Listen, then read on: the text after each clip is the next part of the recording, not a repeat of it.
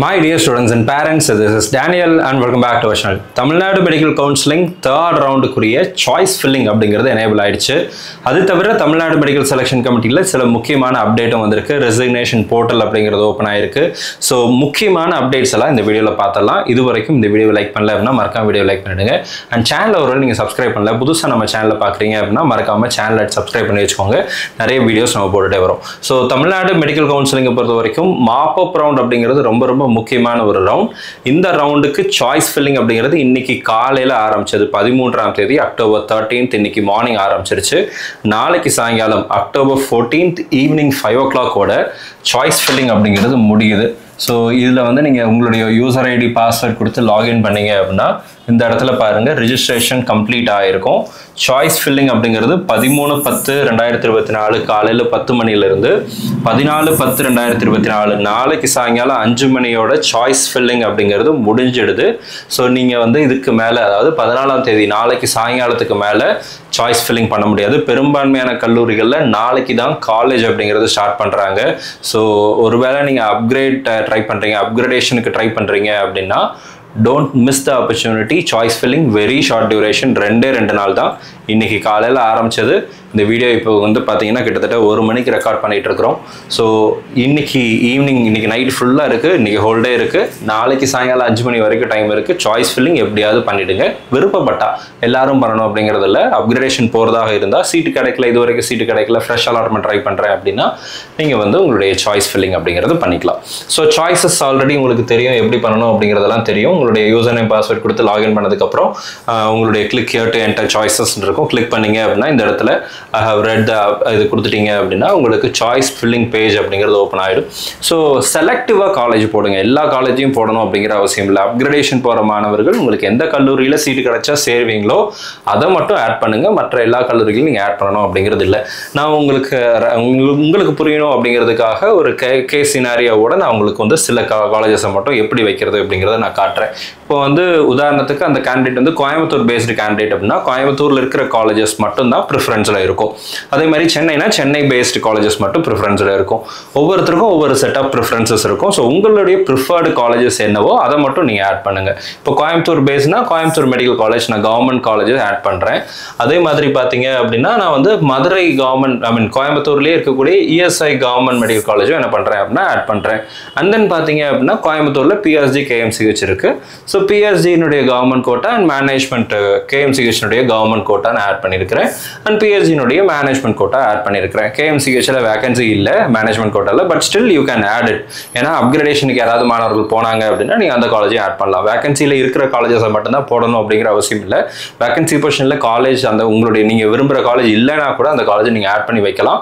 Because அப்கிரேடேஷனில் சில மாணவர்கள் நீங்கள் விரும்புகிற காலேஜில் வந்து மேபி முன்னாடி போனாங்க அப்படின்னா உங்களுக்கு அங்கே வேகன்சி கிரியேட் ஆகலாம். டிசெண்டிங் ஆர்டரில் அதை பற்றி நம்ம ஆல்ரெடி எக்ஸ்பிளைன் பண்ணியிருக்கிறோம் ஸோ ஒரு அஞ்சு காலேஜ் மட்டும் தான் நான் போட்டிருக்கேன். அஞ்சு அல்லது ஆறு காலேஜ் மட்டும் தான் நான் என்ன பண்ணுறேன் அப்படின்னா ஆட் பண்ணலாம். மேபி கேஎம்சிஹெச் மேனேஜ்மெண்ட் அப்படிங்கிறதும் நீங்கள் என்ன பண்ணலாம் அப்படின்னா ஆட் பண்ணிக்கலாம். ஸோ இட் டிபெண்ட்ஸ் இந்த ஆறு காலேஜில் எந்த காலேஜ் கிடைச்சாலும் நீங்கள் சேருவீங்கன்னா இதை மட்டும் போடுங்க. எனக்கு அதெல்லாம் இல்லை. எனக்கு பிஎஸ்ஜியில் கவர்மெண்ட் கோட்டா கிடைச்சா அதை மட்டும் தான் நான் சேருவேன். இல்லைன்னா நான் ஆல்ரெடி இருக்கிற காலேஜ்லேயே நான் கன்யூ பண்ணலான்ட்டு இருக்கிறேன். அப்படின்னா நீங்கள் அந்த பிஎஸ்ஜி மட்டும் போடுங்க. இல்லை நான் வந்து எங்கள் ஊர் வந்து கன்னியாகுமரி கன்னியாகுமரியில் ஸ்ரீ மூகாம்பிகையில் நான் இருக்கிறேன். கன்னியாகுமரி கவர்மெண்ட் மெடிக்கல் காலேஜ் கிடைச்சா நான் போகிறேன் வேறு ப்ரைவேட் மெடிக்கல் காலேஜுக்கு நான் போக விருப்பம் இல்லை அப்படின்னா கன்னியாகுமரி கவர்மெண்ட் மெடிக்கல் காலேஜ் மட்டும் போடுறதா இருந்தால் கூட நீங்கள் போடலாம். இட் இஸ் பியூர்லி யார் இன்ட்ரெஸ்ட் தான். உங்களுக்கு எந்த காலேஜ் சீட்டு வேணும்னு நினைக்கிறீங்களோ எந்த காலேஜ் உங்களுக்கு பிடிச்சிருக்கோ எந்த காலேஜில் சீட்டு கிடைச்சா நீங்கள் சேருவீங்களோ அதை மட்டும் போடுங்க. சீட்டு கிடைச்சிட்டு சேராமல் போயிட்டீங்க அப்படின்னா வேற இங்கே பிடிக்காத ஒரு காலேஜை போட்டு அந்த காலேஜ் அலாட் ஆகி அந்த காலேஜில் நீங்கள் போய் சேராமல் போயிட்டீங்க அப்படின்னா அடுத்த ரவுண்டில் பார்ட்டிசிபேட் பண்ண முடியாது. பெனால்ட்டி வரும்.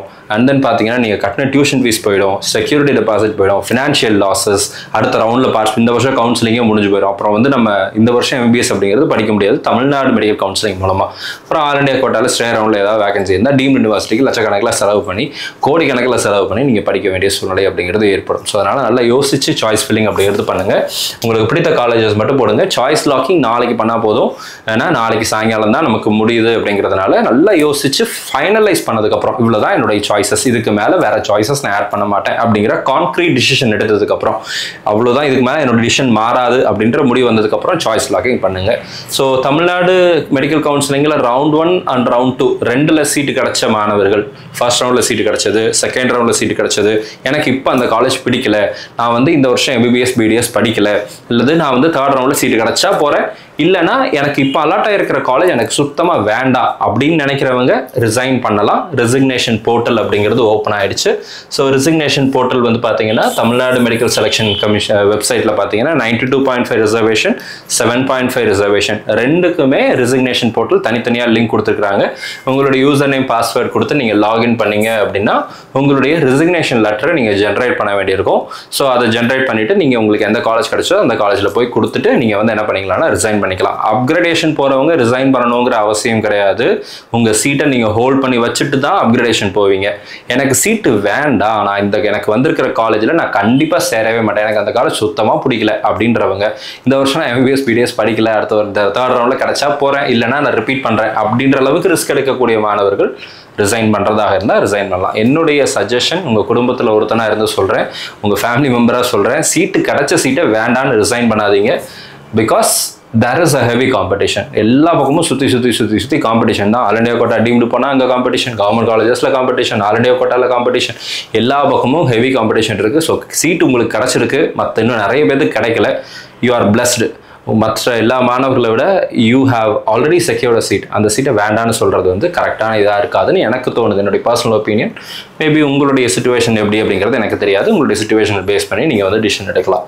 ஸோ இந்த ரெசிக்னேஷனில் வந்து ரவுண்ட் ஒன் ரவுண்ட் டூவில் சீட்டு கிடைத்தவங்க மட்டும்தான் ரிசைன் பண்ண முடியும். சீட்டே கிடைக்கலன்னா நீங்கள் போய் ரிசைன் பண்ணுறதுல அர்த்தமே இல்லை. அலாட்மெண்ட் ஆர்டரே டவுன்லோட் பண்ணல அப்படின்னா ஜாப் ஜாயிண்ட்னு வந்துடும் ஃபர்ஸ்ட் ரெண்டு ரவுண்டில் ஸோ அதனால் நீங்கள் வந்து நீங்களும் வந்து இது பண்ண வேண்டியதில்லை ரெசிக்னேஷன் பண்ண வேண்டியதில்லை who want to resign the seats may do it ஓகேங்களா இது வந்து பாருங்கள் only candidates who have joined or retained round 1 or round 2 can resign using this opportunity allotment order download பண்ணாதவங்க வந்து பயப்பட வேண்டியதில்லை சரிங்களா நீங்கள் தேர்ட் ரவுண்டுக்கு எலிஜிபிள் தேர்ட் ரவுண்ட் நீங்கள் போய்க்கலாம் and candidate have to note that if they resign their seats they will not be able to climb these seats and also they will not be able to participate in further rounds of Tamil Nadu medical counselling அப்படின்னு சொல்லி ஒரு statement கொடுத்துருக்குறாங்க. But ப்ராஸ்பெக்டஸில் இருக்கிறதுக்கும் இதுக்கும் சில முரண்பாடுகள் இருக்குது third ரவுண்டில் நீங்கள் பார்ட்டிசிபேட் பண்ண முடியாதுன்னு இவங்க சொல்கிறாங்க ட்ரை பண்ணி பாருங்கள் எனக்கு புரியல இது. ஏன்னா ப்ராஸ்பெக்டஸில் ஒன்று போடுறான் இதில் ஒன்று போடுறாங்க. கன்ஃபியூஷன் இருக்குது ஸோ அதை பற்றி அவங்க தான் கிளாரிஃபை கொடுக்கணும் கிளாரிட்டி கொடுக்கணும். Any candidate who resigns at discontinues the course after this date will have to forfeit security deposit tuition fees and also have to pay discontinuation fees of ten lakh rupees பத்து லட்ச ரூபா plus tuition fees ஒருவேளை நீங்கள் வந்து NRI labs எடுத்துருந்தீங்கன்னா இருபத்தி ஒன்றரை லட்ச ரூபா. அல்லது வந்து நீங்கள் வந்து மேனேஜ்மெண்ட் கோட்டா எடுத்திருந்தீங்கன்னா பதிமூன்று லட்ச ரூபா. மேபி கவர்மெண்ட் கோட்டா எடுத்திருந்தீங்கன்னா நாலரை லட்ச ரூபா.